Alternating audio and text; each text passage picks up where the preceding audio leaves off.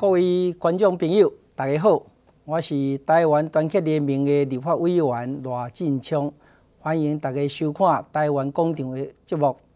我们知道，希腊的人民来讲，一向是生活安逸啊，他们的公务员也都是早早退休啊，他们所领的优渥的退休金，更是常让邻国羡慕的对象啊。好，自两千零一年起啊，希腊政府为了让国债比例符合加入欧元区的形式条件，和高盛银行进行一连串的财务杠杆操作啊，侥幸的加入了欧元区以后。又将机场间、乐透等未来收入以类似的方法对外出售，好，也将抵押贷款转为名目上的委外所得啊，这样子巧目名巧立名目所得的钱，其中大半用于在盛大举办二零零四年的奥运啊，其结果当然是亏损累累啊。之后又陆续向欧元区国家 IMF、EFSF 等借款纾困啊，总贷。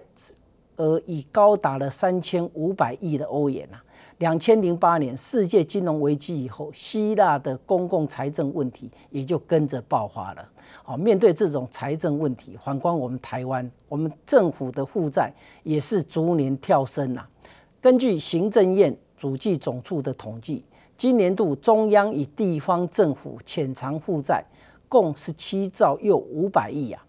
若再加上中央与地方的长期债务、短期借款等，政府总负债高达二十四兆啊，大约是七千亿欧元啊，比希腊的还高啊！哦，那其中军工教退休新旧制的支出就占了八点三兆啊，所贴补的是八趴的优存利息，也持续侵蚀我们政府财政啊！哦，财政黑洞恐怕是我们永无止境的一个噩梦啊！台湾有可能会步上希腊的后尘呐，可是我们的财经总舵手，也就是我们的国发会主委杜子金呐，他竟然表示，希腊是因为外债多，但台湾是零外债，台湾和希腊相比，台湾应该是不会爆发债务危机呀。他这种说法真是哈，七鬼半阿唔知西瓦。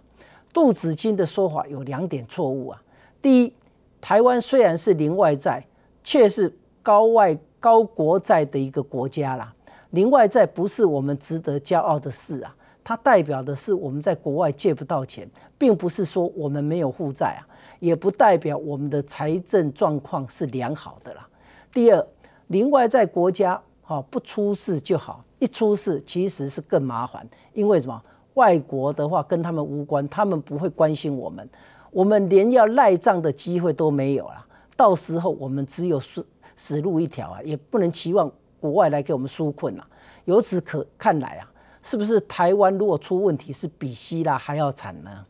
哦，今天就先跟大家讲到这，感谢大家的收看，咱下礼拜再会。